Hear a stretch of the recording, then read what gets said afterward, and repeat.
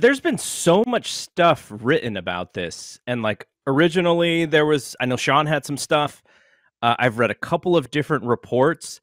Like, do you even understand what the consensus is on what the frustration was last night? So I gotta. Uh, what time exactly did this happen? Do you know? I I don't. I know it. Ha- I know they left like m- right before, maybe as the show was going on. Okay, so I got a text around ten o'clock from from WWE regarding. I, I mean, like WWE. It was it was the same official statement, you know, that everybody got. Uh, that Sean posted. So that is their narrative. That is the WWE take on this. That is the official. What Sean posted is the official stance. This is the official WWE statement, okay? 1032, I got this message. When Sasha Banks and Naomi arrived to the arena this afternoon, they were informed of their participation in the main event of Raw, of tonight's Monday Night Raw. During the broadcast, they walked into WWE Head of Talent Relations John Laurinaitis' office with with a suitcase in hand, placed their title championship belts on the de- on his desk. I wonder if anybody got in trouble for that. Belts. Uh, yes. Put it on his desk and walked out. They claimed they weren't respected enough as a tag team, as tag team champions, even though they had eight hours to rehearse and construct their match. They claimed that they were uncomfortable in the ring with two of their opponents, even though they'd had matches with them in the, uh, those individuals in the past with no consequences. And this is fascinating. Monday Night Raw is a scripted TV show whose characters are expected to perform the requirements of their contracts. We regret that we were unable to deliver as advertised tonight's main event. That is the first time WWE has apologized for re- changing the script. Okay. Okay. So, so, so there's a couple things here. That that's really rich, right? Because yeah. a there, there's two there's two things that pop out to me. A, they change the friggin' main event all the time. Like, all the time. you know, yeah. we, how many stories are there have been Vince, you know, changing the show as it goes on, and people have to like, you know race to to finish some stuff. But the second thing, at the upfronts, aren't they trying to portray themselves as live sports? yes, yes. like that is that is a whole shift. Every AEW as well. AEW yeah. and WWE. WWE shifted. I think recently. Uh, they they didn't really consider themselves live sports. Uh, USA had him under drama for a while, and now the whole, you know, everything has changed for contract uh, TV rights fees and everything. Sports yeah. is getting paid a lot more, so better position yourself like that. But two things stood out here, okay? One, the fact that they said that this is a scripted TV show, and they're treating it like, you know, uh, George Clooney walked off the set of ER because he was very upset when they were going live, you know, or something like that. But the other thing is that they had eight hours to rehearse. I've never seen WWE say that ever that they're rehearsing.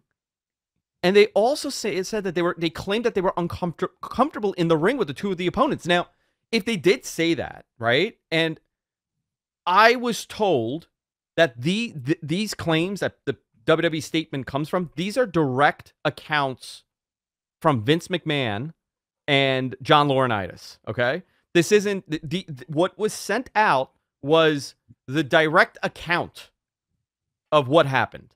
That that that is what they are saying. Now, there's another story out there. I've seen a couple of reports that you know they were trying to talk to producers and writers and try to piece uh, you know fix what they were unhappy with, and they were yep. told to correct their attitudes multiple times. wow. Uh, and yeah, and if that is true, uh, listen, I got a six year old.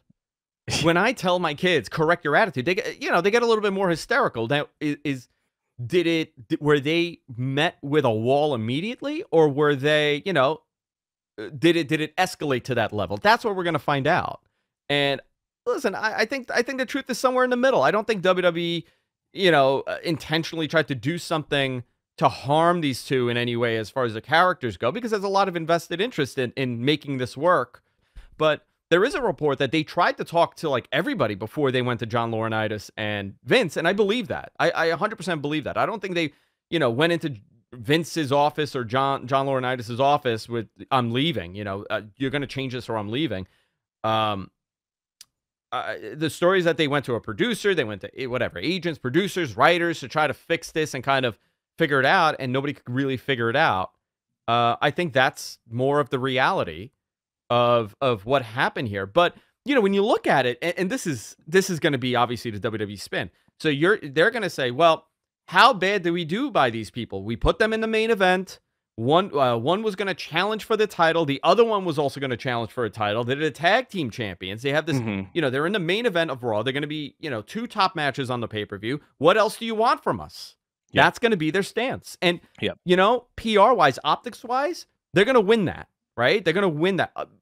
I'm not saying that I agree with WWE here at all, but in their PR battle to change the optics of this, that's going to be their stance. Like, well, what else did you want from us? Yeah. I don't have a stance on this because I don't know what the truth is, to be honest. I only know what WWE told me. And uh, now you're seeing a lot of the rumors uh, trickle down. We're yeah. probably going to find out from Naomi and, and Sasha uh, as to what the hell happened on Monday. But where, where do you what do you think on this? Dave also brought up that there might be a contract situation here, right? I want to read because this just came out. Um, I think this may have came out last night or this morning. So I believe this was Mike Johnson from uh, PW Insider. He said the belief among some is that the creative issue was not with Banks losing to Naomi, but how the duo would have been portrayed over the next several weeks, especially after they put so much time into building their team once Vince issued an edict that they would be teaming and winning the titles at Mania 38. And that after diving into building that team, they were going to wrestle each other and go off and put over other talent, leaving them exactly where, which apparently was the crux of the issue, WWE plan looks to have been that the women's tag team championship could have been downplayed until their next program. So, what you said is also what I heard, which is Sasha and so Naomi wins one of these matches and she faces one of the champions. Sasha faces possibly Ronda, which is actually a great match by the way. Yeah, but they, they were they were both going to lose and thus the tag team title thing, which they're into because they they just won those titles. They were going. It was going to be sort of like, oh, now you know we're wrestling as singles, and the belts are going to be sort of less important. Just you know, we can't yeah. even defend the belts on paper. So that listen, from a, I get that. Yeah, listen, I, I totally get that because think about, you know, they they want to elevate the title, right? Yes, and they're doing you you as the company. They're they're doing it for you obviously for themselves, but they're by them elevating and being protective of those titles, even though this is not real, uh, they're going to elevate it for the next round of people that get that title and then the future of it. They, you know, I, I, if that's the truth, right? If that's where we fall, you know what? They're absolutely in the right. They're being, they're questioning it. They don't want to, they don't want to position it and be marginalized as, as just a nothing champion. Some of this is my opinion. Most of this is my opinion, but from things that have been said to me, specifically from writers in that company. Okay. Yes. And and I'm going to be uh, honest with this. I, th- this was a couple years ago, and when Sasha got the Mandalorian uh, gig, yes, right. Yes. Uh, when Sasha got that, the same time I was told specifically by by people, I would say this person was a writer there, or I don't think this person's a writer there still, but you know, they the way that they were complaining, and they didn't say it to me like this, but they were really addressing it like, you know, they I would say that they are maybe a little bit, some of them, uh, a little bit less positive when the female talent approaches them with with, with criticism compared to the men. Okay, so uh, that was my Roman point, right? That's what I was wondering, yeah. which is not only from a male and female standpoint, but from a star standpoint. Rock, I mean, not Rock, Roman, Brock, yeah, Roman plus Brock, I guess in my head e- equals Rock. Roman, Brock, Seth, Randy, Cody. If those guys had gone up, Ronda, um, I, I would, I, I uh, maybe Becky. Like if those folks had come up and, and in the same scenario, is this a different situation, or is it because Sasha and Naomi aren't at that tier in their eyes? Which to me, Sasha's the best. to me, Sasha is one of the best seven or eight wrestlers in the entire company and the best female wrestler in ring on, on the roster. So I have her in very high regard. Not that she can do no wrong, but I just think she's tremendous. So there may be some yeah. bias on my end just because of how, how big of a fan I am. But she seems to. There are always rumors kind of about how happy or unhappy she is there. Now, I think a big part of because people go, well, why did she, you know, sign up with them again? Part of it is she is so much of a bigger uh, star to people not only in WWE because of that name, Sasha Banks, tremendous name by the way. Yeah. Then she would be with her real name, right? Does like can she market herself to do stuff like the college football commercials, the Mandalorian as Mercedes? Now, Mercedes is a pretty cool name too, but she's Sasha Banks to everybody. And Sasha Banks looks like somebody, is Snoop Dogg's cousin, feels like she's a bigger than life persona.